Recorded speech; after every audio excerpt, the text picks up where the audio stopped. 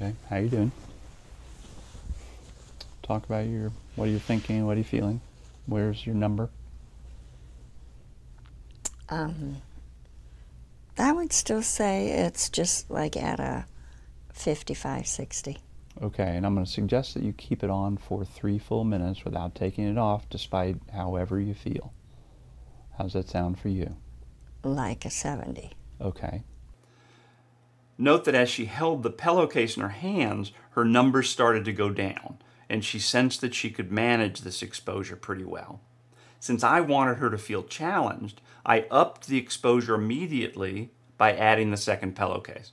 I want to target her belief system.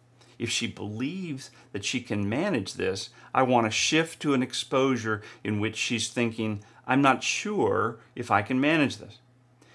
Even with two pillowcases, her distress level didn't rise. So I immediately told her that I wanted her to keep the pillowcases on for three minutes, no matter how she felt. That got a rise out of her, so now we can proceed. All right, so you ready? Yeah. Okay, go ahead. I love that you take that last gasp of air before you do the practices. That's good. That's good. Okay, talk to me. Let me know what you're noticing. How, where is your number right now? Zero to 100.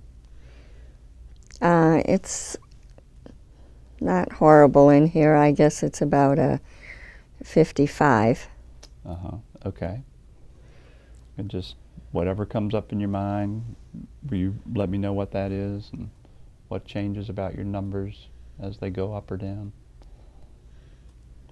You're Well, my heart started beating minutes. a little faster and it's getting a little bit hotter.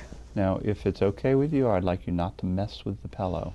Can Oh, you put the pillow back where it was? okay, thank you. What were you doing with that those gestures just then? I was trying to circulate the air a little more and get a little more space between my nose and this cloth Why? um, so that I could get fresher air Uh-huh. What's the intention of the practice? um, to say I can handle this. Okay. And we want the practice to be as difficult as you can manage, right? Right. So, okay, and so we just want to register that one of the first things you do, completely understandable, absolutely normal, is to reach up and start allowing yourself to have a little more fresh air. However, what's the problem with that? I'm. I guess I'm not training my. what is it? Amygdala. Uh huh. Not training it to Uh, stop overreacting. Right. So, uh, you know, this safety behavior of pulling it back is a manifestation of a belief that I can't manage it otherwise.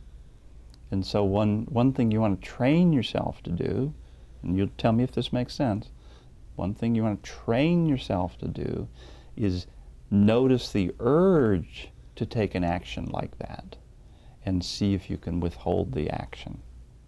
Right? Mhm. Notice your urge to want to drive out of the parking deck and withhold the action. Notice your urge to run off the plane and just say, I can handle it. As soon as she brought her hand up and pulled the pillowcases away from her face, giving her more space inside the pillowcases, I asked her to put the pillowcases back in their original position. She was engaging in a safety behavior, a safety crutch, in essence saying to herself, if I can get a little more room inside here, I'll be okay. There's that belief system again, and we need to challenge it.